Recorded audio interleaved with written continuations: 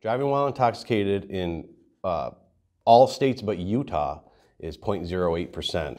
Um, in New York State, there's also DWAI, which is somebody can blow um, a 0.05% BAC up to a 0.07 BAC. There's a whole bunch of different factors that can come into play with a person's BAC.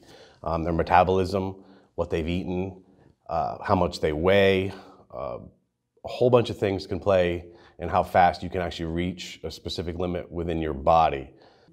During the holiday, um, it's, it's a chance for people to get together. And usually, when people get together and family and they see each other, we meet up with friends, it, it's, uh, it's an opportunity for people to uh, start drinking a little bit more when they otherwise would just be a normal day.